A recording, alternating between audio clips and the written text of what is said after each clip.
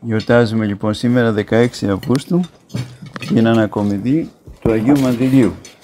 Δηλαδή τη μεταφορά, όπως λέγει το συναξάρι, από Εδέσης εις Κωνσταντινούπολη. Αλλά αυτή η Έδεσα δεν είναι η Έδεσα της Μακεδονίας, είναι η Έδεσα της Συρίας. Έτσι. Από εκεί πήγε το Άγιο Μανδύλιο στην Κωνσταντινούπολη.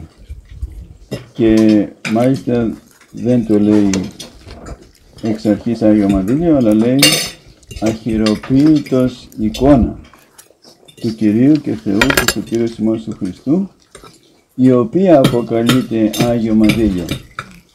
Αυτή η εικόνα λοιπόν, που είναι αχυροποίητος, αχυροποίητος θα πει δεν έχει φτιαχτεί από ανθρώπινο χέρι. Αλλά από τι, από το Θεό. Είναι φτιαγμένη από το Θεό. Και θα πούμε τώρα το όλο αυτό περιστατικό, πώς έγινε αυτή η εικόνα να φτιαχτεί από το Θεό και να φτάσει εκεί στην Έδεσα, στη Συρία και από εκεί να πάει στην Κωνσταντινούπολη. Λέει λοιπόν, στα χρόνια της επίγειας ζωής του Κυρίου ημών Ιησού Χριστού, όταν ζούσε ο Χριστός μας, ο βασιλιάς της Έδεσας της Μεσοποταμίας, Άβγαρος, ο οποίος ήταν το πάρχης της Οσροϊνής, είναι μια περιοχή ανάμεσα στον Τίγρη και τον Εφράτη, με πρωτεύουσα την Έδεσα. Άρα, όχι η σημερινή Συρία, ε, αλλά είναι μια περιοχή ανάμεσα στον Τίγρη και στον Εφράτη. Θα λέγαμε ότι μπορεί να είναι και, και στην περιοχή του σημερινού Ιράκ. Αυτός λοιπόν είχε προσβληθεί από λέπρα. Είναι μια αρρώστια πολύ μεταδοτική που το σώμα, το πρόσωπο, το δέρμα πρίζεται, κοκκινίζει και βγάζει πίο γίνεται όλος ο άνθρωπος σιγά σιγά μια πληγή. Αυτό είναι η λέπρα. Και αρχίζει και παραμορφώνεται ο άνθρωπος και μετά σαπίζει. Και το χέρι του και το πόδια του, αλλά ο Θεός τώρα μας έδωσε μια θεραπεία. Έτσι, και παίρνουν οι άνθρωποι φάρμακα και γίνονται καλά. Στα χρόνια του Χριστού δεν μπορούσαν να γίνουν καλά και πέθαιναν και επειδή είναι πολύ μεταδοτικοί, τους έβγαζαν έξω από τις κατοικημένες περιοχές σε μέρη που δεν περνούσε άνθρωπος ή αν περνούσε, περνούσε από μακριά. Και φαγητό πώς βρίσκανε, είχαν ας πούμε ένα μέρος και τους ρίχνανε από επάνω, από μακριά ή τους αφήνανε κάπου το φαγητό. Δεν πήγαινανε κοντά γιατί φοβόντουσαν μην κολλήσουν και αυτοί. Γιατί είναι πολύ μεταδοτικοί. Αυτός λοιπόν που ήταν βασιλιάς είχε λέπρα και αρθρίτιδα και άκουσε να γίνεται λόγος για τις αναρρύθμιτες θεραπείες που επιτελούσε ο, ο Άγιος, ο Κύριος μας Ιησούς Χριστός. Είχε φτάσει η φήμη του Χριστού μας μέχρι τη Μεσοποταμία. Καθώς εκείνος δεν ήταν σε θέση να μετακινηθεί, έστειλε στην Ιερουσαλήμ τον αρχιοφύλακα Ανανία. Ήταν αυτός που φύλαγε το αρχείο του, έτσι, το αρχείο του βασιλιά. Και λεγόταν Ανανίας. Και του λέει θα πας στο Ιεροσόλυμα να βρεις αυτόν τον άνθρωπο που κάνει τόσα θάματα, τον Ιησού, για να με κάνει καλά. Του πρότεινε μάλιστα ε, του Χριστού μας, αφού έγραψε την επιστολή και την πήγε ο Ανανίας στο Χριστό μας, του πρότεινε ο ηγεμόνας αυτός να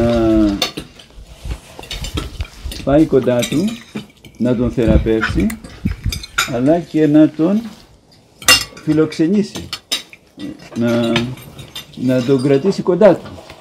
Γιατί άκουγε ότι το Χριστό μας ήθελαν να το σκοτώσουν οι Εβραίοι και κάνανε συνωμοσία.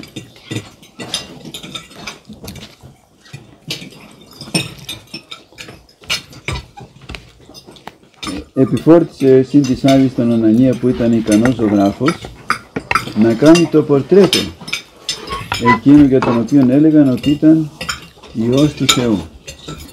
Αυτός λοιπόν ήταν και ζωγράφος και του λέει εκεί που θα βρεις τον Ιησού θα τον ζωγραφίσεις κιόλας. Θα τον ζωγραφίσεις.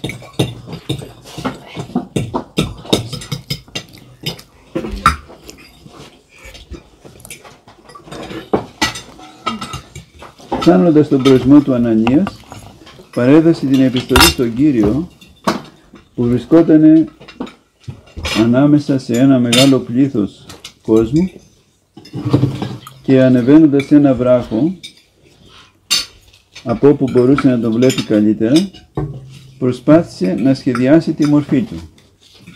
Έτσι, οι ζωγράφοι ξέρετε πάνε ας πούμε εκεί που θέλουν να ζωγραφίσουν κοντά και προσπαθούν να βρουν κάποια χαρακτηριστικά.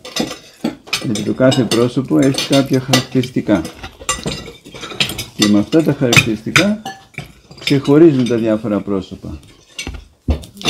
Αλλά με τον Χριστό δεν μπορούσε να βρει αυτά τα χαρακτηριστικά. Γιατί, γιατί το πρόσωπο του Χριστού άλλαζε συνέχεια μορφή.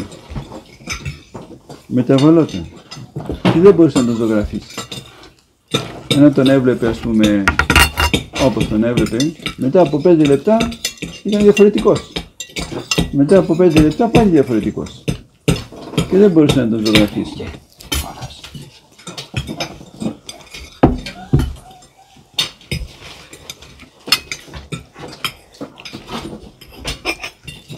Και αυτό γιατί, γιατί είχε την χάρη του Θεού βέβαια, στο μέγιστο βαθμό ο Χριστός μας.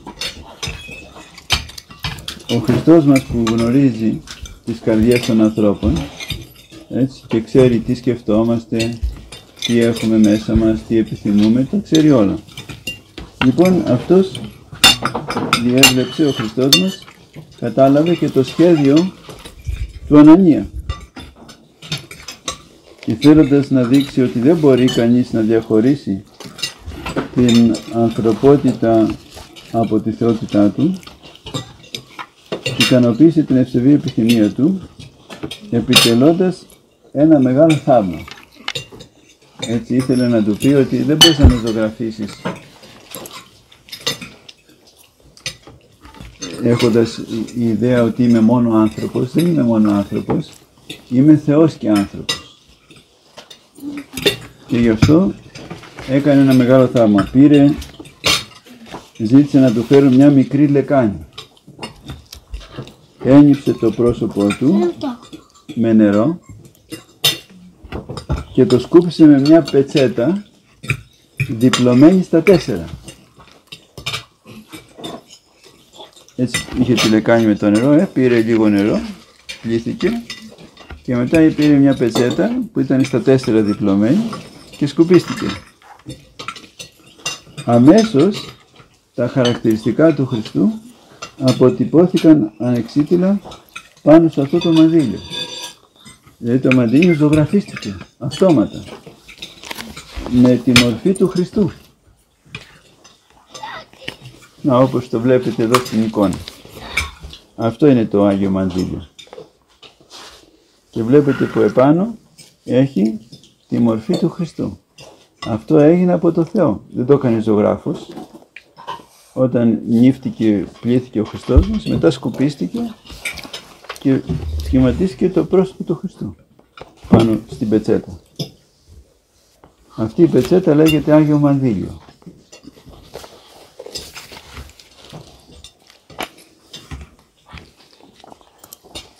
Και είναι η εικόνα αχυροποίητη, δηλαδή χωρίς χέρι ποιημένη, φτιαγμένη χωρίς χέρι ανθρώπινο. Και αφού πήρε ο Χριστός μας το Άγιο Μαδίλιο, το έδωσε στον Ανανία. Του το έδωσε. και του έδωσε και μια επιστολή. Βλέπετε πόσο ταπεινός είναι ο Χριστός μας. Ε; Το απαντάει του Άβγαρου στην επιστολή του, στο γράμμα του. Με επιστολή. Στην οποία εξηγούσε ότι έπρεπε να εκτελέσει στην Ιερουσαλήμ το αιώνιο σχέδιο του Θεού για τη σωτηρία των ανθρώπων. Δεν μπορώ να αυτό του λέει στην Έδεσα, γιατί πρέπει στα Ιεροσόλυμα να κάνω αυτό που ήρθα για να κάνω.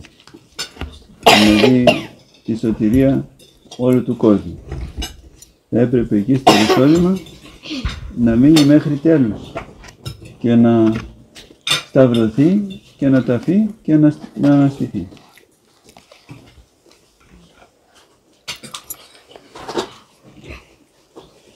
Του υποσχόταν όμως ότι όταν η αποστολή του θα έλυγε, θα τέλειωνε η, επιστολή, η αποστολή του και θα ανέβαινε στον ουρανό, θα του έστελνε έναν από τους μαθητές του να του χορηγήσει την ίαση της ψυχής και του σώματός του.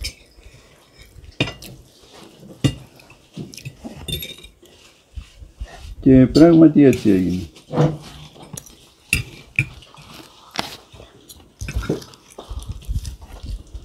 Ο βασιλιάς Άβγαρος υποδέχτηκε τον Ανανία με μεγάλη χαρά και γονάτισε μπροστά στην εικόνα του Αγίου Μανδυλίου με πίστη και αγάπη. Πίστεψε στο Χριστό αυτός ο βασιλιάς λοιπόν, ότι είναι ο Υιός του Θεού. Του είπε βέβαια ο, ο Ανανίας πώς έγινε, πώς ζωγραφίστηκε το μαντήλι μόνο του αφού νύχτηκε ο Χριστός μας και σκουπίστηκε και έτσι θεραπεύτηκε ο άπλαρος. Έγινε καλά από τη λέπρα του. Με το που προσκύνησε με πίστη. Δεν είναι αρκετό να προσκυνάμε, ε; πρέπει να προσκυνάμε με πίστη. Ότι αυτό δηλαδή που προσκυνάμε είναι ο Θεός, είναι ο Χριστός. Δεν είναι απλή ζωγραφιά, ούτε είναι ένα ξύλο. Δεν προσκυνάμε το ξύλο, ε; προσκυνάμε το εικονιζόμενο πρόσωπο. Όποιο είναι ο Χριστός, η Παναγία, ο Άγιος Ιάννης ο Πρόδρομος, ο Άγιος Πορφύριος, έτσι προσκυνάμε το πρόσωπο. Ε, πρέπει όμως να το προσκυνάμε με πίστη και με ευλάβεια. Έτσι το έκανε λοιπόν ο Άβγαρος και έγινε καλά. Έφυγε η λέπρα. Αυτό δεν γίνεται έτσι, η λέπρα σκοτώνει. Αν δεν πάρεις φάρμακα. Όμως άμα θέλει ο Θεός, σε κάνει καλά. Και του έμεινε μόνο ένα σημάδι, μια πληγή στο μέτωπο. Γιατί αυτό, για να θυμάται τη θεραπεία. Να μην πει ότι δεν είχα τίποτε και ότι δεν έκανε τίποτα ο Χριστός. Μην το πει ο διάβολος ότι ξέρεις, ε, δεν έγινε τίποτα. Ε, δεν είχες τίποτε. Το άφησε λοιπόν ένα μικρό σημάδι από την αρρώστια μια πληγή στο μέτωπο. Μετά την ανάληψη του σωτήρα μας και την Πεντηκοστή, ο Άγιος Απόστολος Θαδέος στάλθηκε στην Έδεσα που κηρύττοντας το Ευαγγέλιο βάφησε το βασιλέα και μεγάλο τμήμα του λαού. Ο Άγιος Απόστολος Θαδέος ένας από τους 12 Αποστόλους. Πήγε λοιπόν στην Έδεσα όπως είχε πει ο Κύριος στον Άβγαρο στο γράμμα που του έστειλε ε, ότι μετά που θα πάω στους ουρανούς στην μετά την ανάληψή μου θα σου στείλω έναν από τους μαθητές μου. Και τους στέλνει λοιπόν τον Άγιο Αθαδαίο που πήγε στην Έδεσα κήρυξε το Ευαγγέλιο, βάφτισε το βασιλέα και μεγάλο τμήμα του λαού. Και πράγματι το βασίλειο της Έδεσας ήταν το πρώτο κράτος, έτσι, το πρώτο κράτος από όλη τη γη που έγινε επίσημα χριστιανικό. Μετά τη μεταστροφή του βασιλιά Άβγαρου. Καταλάβατε. Έγινε χριστιανικό κράτος. Δηλαδή στον πρώτο δεύτερο αιώνα. Και μετά έχουμε το κράτος το λεγόμενο Βυζαντινό.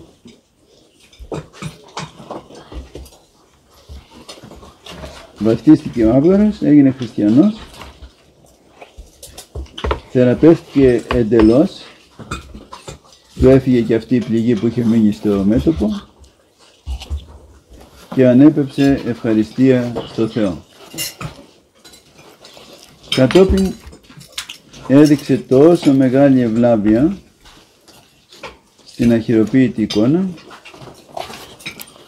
που πρόσταξε να αντιτοποθετήσουν μέσα σε μία κόγχη. Όταν λέμε κόγχη εννοούμε ένα βαθύλο, βαθούλωμα. Έτσι ας πούμε εδώ, αυτό εδώ είναι ένα βαθούλωμα. Ε. Έτσι ήταν ένα τέτοιο βαθούλωμα, μια τέτοια κόγχη στο τείχος της πόλης της έδωσε, πάνω από μία πύλη. Ε. Εκεί λοιπόν σε αυτό το βαθούλωμα μέσα ο βασιλιάς ε, πήρε το είδωλο, ήταν ένα άγαλμα, ένα είδωλο. Το, το ξύλωσε αφού έγινε χριστιανός, έτσι, και στη θέση του έβαλε το Χριστό. Έβαλε την εικόνα. Για να φυλάει όλη την πόλη. Καταλάβατε; Πάνω από τη βασική πύλη της πόλης. Την κύρια πύλη, από εκεί που μπαίνανε και βγαίνανε οι περισσότεροι. Και έβαλε και μία επιγραφή Χριστέ ο Θεός, προσέξτε αυτή την επιγραφή, ο Ισέ ελπίζων ούκ αποτυγχάνει ποτέ. Έτσι. Χριστέ ο Θεός, αυτός που ελπίζει σε σένα, αυτός τι λέει, ούκ αποτυγχάνει, τι θα πει. Δεν αποτυγχάνει. Δεν αποτυχαίνει ποτέ. Ποτέ δεν χάνει. Αυτός που ελπίζει στο Χριστό. Σε ανθρώπους άμα ελπίσεις, μπορεί και να σε προδώσουν. Συνήθως όλοι σε προδίδουν. Αλλά άμα ελπίζεις στον Χριστό και ζητάς τη βοήθεια του Χριστού, ποτέ μα ποτέ δεν χάνεις. Ποτέ δεν αποτυχάνεις. Όλοι όσοι έμπαιναν στην πόλη, όφυλαν να την τιμούν αυτή την εικόνα. Ήταν πάνω από την πύλη. Αυτό ίσχυε καθ' όλη τη βασιλεία του Άβγαρου και του γιού του. Όταν όμως ανέβηκε στο θρόνο ο εγγονός του,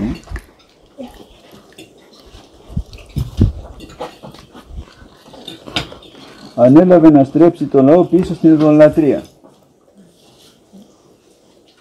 και σχεδίασε να καταστρέψει την εικόνα. Προειδοποιημένος από ένα όραμα για το σχέδιο αυτό, ο επίσκοπος Εδέσης πήρε μήνυμα από το Θεό, ε, του έδειξε τα σχέδια του βασιλιά, ο οποίος ήθελε να γυρίσει το κράτος στην ειδωλατρία. Κάτι αντίστοιχο που έκανε και εδώ στο Βυζάντιο ποιος, θυμάστε, ένας αυτοκράτορας ασεβής. Ο Χριστίνος, ο Ιου... Ιουλιανός. ε. Ο Ιουλιανός ο παραβάτης, ο οποίος είχε φοβερό φρικτό τέλος.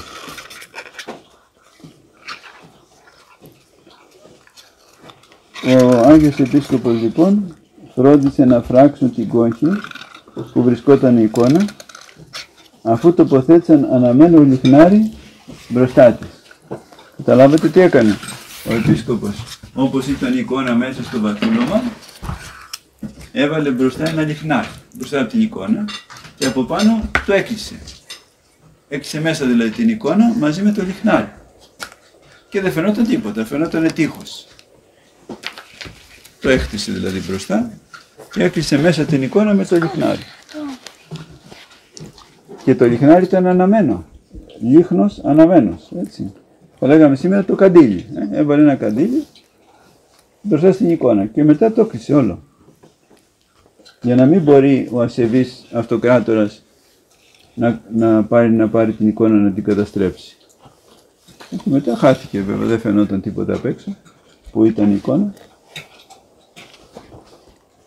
Πολλά χρόνια πέρασαν Και παρόλο που το βασίλειο είχε γίνει χριστιανικό, η ύπαρξη της εικόνας λησμονήθηκε. Και οι χριστιανοί την είχαν ξεχάσει την εικόνα που ήταν στο τείχος πάνω από την πύλη της πόλης. Όταν την πόλη την πολιόρκησε ο Πέρσης βασιλιάς ο Χοσρόης το 554, δηλαδή μετά από μπορεί και από 300 χρόνια. Βυθίζοντας τους κατοίκους στην, στην αγωνία, αποκαλύφθηκε στον επίσκοπο Ευλάλιο σε όραμα το μέρος που βρισκόταν η εικόνα του Σωτήρος με την προστασία της οποίας θα μπορούσαν να νικήσουν. Ήταν, είπαμε, χριστιανικό το κράτος. Ε; Οπότε ο επίσκοπος πάλι δέχτηκε αποκάλυψη από το Χριστό μας για την εικόνα. Και είπε ο Θεός λοιπόν, εκεί είναι η εικόνα και πρέπει να την πάρετε και να την τιμήσετε και θα νικήσετε. Ο επίσκοπος έβαλε να αποφράξουν την κόχη και με μεγάλη έκπληξη ανακάλυψαν όχι μόνο άθικτη την εικόνα αλλά και το λιχνό να καίει μετά από τόσα χρόνια.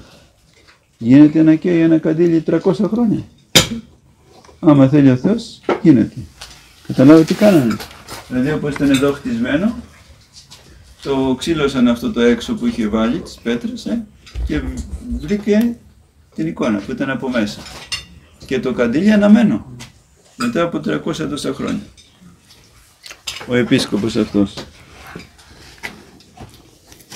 Επιπλέον, πάνω στην πλήθο που έφραζε την κοιλότητα, βρέθηκε αποτυπωμένο το ομοίωμα της εικόνας του Αγίου Μανδυλίου.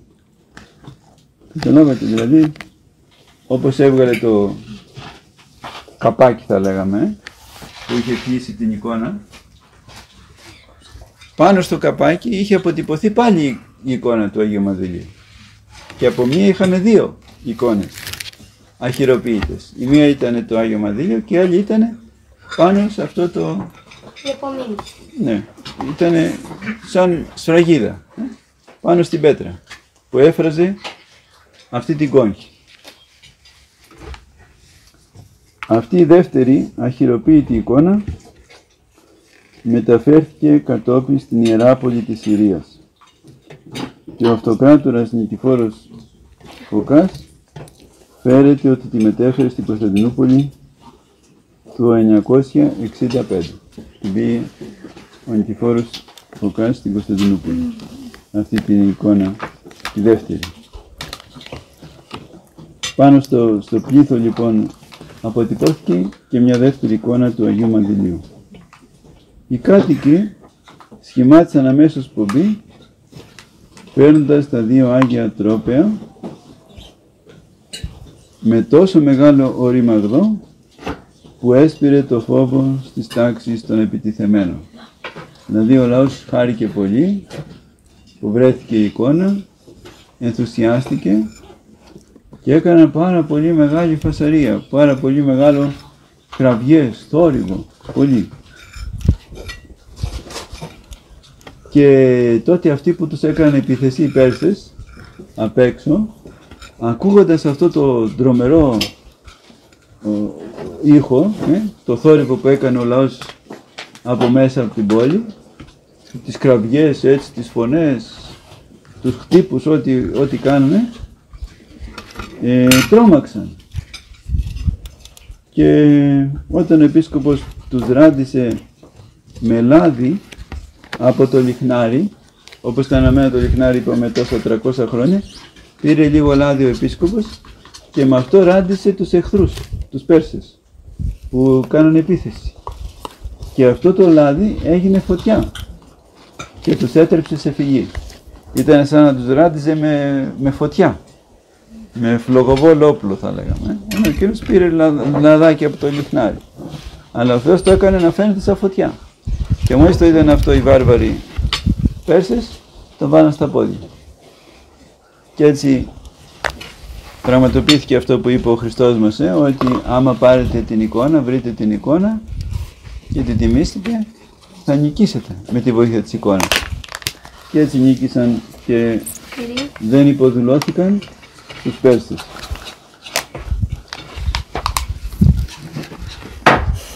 Λίγα χρόνια αργότερα η πόλη της Έδεσας ε, έπεσε στα χέρια των Περσών. Αργότερα κατάφεραν να την καταλάβουν. Προφανώς για τις αμαρτίες τους. Κατά παραχώρηση Θεού. Γιατί όταν κάνουμε αμαρτίες έρχεται η Θεία Δίκη, ε, η Θεία Δικαιοσύνη. Και τι γίνεται τότε, μας υποδουλώνουν οι εχθροί. Βλέπετε και εμείς που είχαμε πέσει αμαρτίες πολλές, ήρθαν οι Τούρκοι και μας πήραν την Κωνσταντινούπολη από τις πολλές μας αμαρτίες. Και μας κάνουν σκλάβους 400 χρόνια. Και εδώ στη Μακεδονία 500 χρόνια. Μετά ας πούμε κάπως μετανοήσαμε, αλλά όχι σωστά, και ελευθερωθήκαμε, κάπως ελευθερωθήκαμε. Και τώρα βλέπετε που πέσαμε πάλι και πέφτουμε στις αμαρτίες, έτσι όπως πάμε θα σκλαβωθούμε πάλι. Βλέπετε έχουν έρθει ένας σωρό μουσουλμάνοι στην Ελλάδα, εκατομμύρια, και αυτοί ουσιαστικά έχουν κάνει κατάληψη στην πατρίδα μας. Λοιπόν, άμα δεν μετανοήσουμε, θα τα χάσουμε όλα. Θα χάσουμε την ελευθερία μας. Έτσι πάθαιναν και οι Εβραίοι, έτσι πάθαιναν και αυτοί εδώ στη Συρία. Αλλά αυτοί από ό,τι φαίνεται μετανόησαν και μετά από λίγα χρόνια ήρθε ε, ένας Βυζαντινός αυτοκράτορας ο, ο Ηράκλειος και την ξαναπήρε, την ελευθέρωσε το 628 αλλά μετά πάλι ήρθαν οι Άραβες και την κατέλαβαν οι Άραβες. Την ξαναπήρε ο χριστιανικός στρατός με τον αυτοκράτορα το Ρωμανό το Λεκαπινό ο οποίος τι έκανε; Έσπευσε να μεταφέρει στην Κωνσταντινούπολη το Άγιο Μανδύλιο και τις επιστολές του Άβγαλου. Αυτό το έκανε στις 15 Αυγούστου του 944. Μια σκεφτείτε παιδιά μέχρι τότε είχαμε αυτή την εικόνα, την ξέραμε που είναι και την πήρε ο αυτοκράτορας του Ευσεβής αυτός, ο Ρωμανός, το 944. Δηλαδή σχεδόν χίλια χρόνια ε, μετά από το Χριστό μας. Γιατί είπαμε ότι αυτή η εικόνα φτιάχτηκε από το Χριστό μας. Αμέτρητο πλήθος υποδέχτηκε την Αγία εικόνα, πρότυπο όλων των χριστιανικών εικόνων που κατατέθηκε αρχικά στον ναό των Βλαχερνών. Λένε μερικοί πώς ήταν ο Χριστός, τον ξέρουμε τον Χριστό. Τον ξέρουμε. Από αυτή την εικόνα. Που την έφτιαξε ο ίδιος ο Χριστός. Ε; Δηλαδή ο Χριστός μας μας άφησε το πρόσωπό του. Ξέρουμε ποιο είναι το πρόσωπο του Χριστού. Μας άφησε λέγαμε μια φωτογραφία του. Πολύ καλύτερη από αυτές που θα βγάζουμε εμείς με τις μηχανές. Την έκανε ο ίδιος, ε; στο Άγιο Μαδίλιο. Και με βάση αυτή την εικόνα που μας άφησε ο Χριστός, του προσώπου του, φτιάχνουμε τον Χριστό. Όλες οι εικόνες οι Ορθόδοξες ε, πρέπει να έχουν ως πρότυπο αυτή την εικόνα, το Αγίου Μαδηλίου. Γι' αυτό δεν επιτρέπεται να ζωγραφίζουμε τον Χριστό όπως να είναι και να γράφουμε από πάνω Ιησούς Χριστός και να τον κάνουμε, ξέρω εγώ, όπως θέλει ο καθένας. Σαν τους καθολικούς. Ναι, που τον κάνουν σαν Γερμανό, έτσι, ξανθό και δεν ήταν έτσι ο Χριστός, ο Χριστός ήταν όπως φανερώθηκε έτσι από το Άγιο Μανδύλιο που το έφτιαξε ο ίδιος. Το πρόσωπό του εκεί το αποτύπωσε.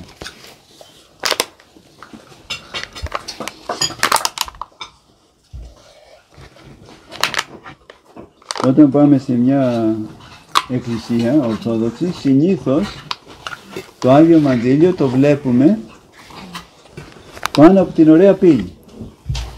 Άμα προσέχετε όταν πείτε σε μια εκκλησία πάνω από την ωραία πύλη, ε, την κεντρική πύλη του ιερού μπορεί να υπάρχει, όχι πάντα βέβαια μπορεί να υπάρχει το Άγιο Μανδύλιο αυτή η εικόνα που σας λέω που έφτιαξε ο Χριστός μας και αποτυπώθηκε εκεί η μορφή του. Είναι πρότυπο λοιπόν όλων των χριστιανικών εικόνων, κατατέθηκε αρχικά στο ναό των Βλαχερνών και την επόμενη μέρα στην Αγία Σοφία, στην Κωνσταντινούπολη. Και από εκεί στο ναό της Θεοτόκου του Φάρου, στον περίβολο του παλατιού για την προστασία της βασιλεύουσας και όλου του λαού. Η βασιλεύουσα, η Κωνσταντινούπολη, προστατευόταν από τον Κύριο, ε, από το Άγιο Μανδύλιο. Τώρα τι έγινε το Άγιο Μανδύλιο; Μετά από την άλωση της Κωνσταντινούπολης, από τους Σταυροφόρους. Πότε έγινε αυτή η άλωση, από την τέταρτη Σταυροφορία, που ήταν η πιο μεγάλη καταστροφή της Κωνσταντινούπολης. Δεν ήταν αυτή από τους Τούρκους, ήταν από τους Φράγκους, που υποτίθεται ήταν χριστιανοί. Δεν ήταν χριστιανοί, ήταν απεσταλμένοι του Πάπα και θέλουν να καταστρέψουν το Βυζαντινό κράτος. Το 1204, είπαμε το 944 μετέφερε ο αυτοκράτορας ο Ρωμανός στην Κωνσταντινούπολη την εικόνα, το Άγιο Μανδύλιο και το 1204 που μπήκαν οι Φράγκοι χάθηκαν τα ίχνη του Μανδυλίου της Εδέστης, του Αγίου Μανδυλίου.